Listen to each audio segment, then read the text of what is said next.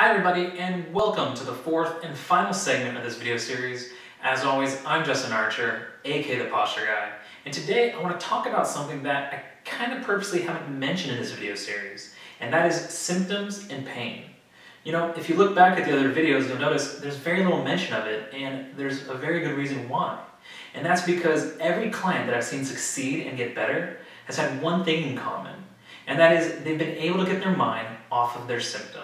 Now, I don't mean ignore their pain or work through it, but they've been able to turn their focus from what's hurting me, what's broken, to using the evaluation we did earlier and the functional test to learn what's my body trying to tell me about what's causing my pain.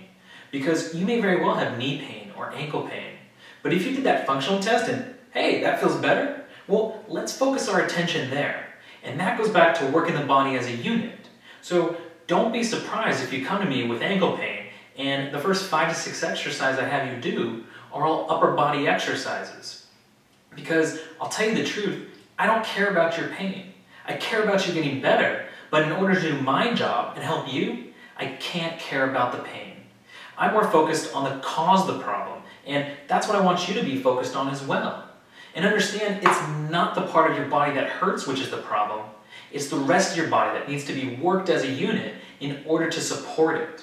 So the posture evaluation, the functional test, working the body as a unit, all this was really so you can start to see that it's not your age, weight, genetics, or sport that's causing your pain, it's your posture. So get your mind off the symptom and get it onto the cause, all right? Till next time, take care and keep moving.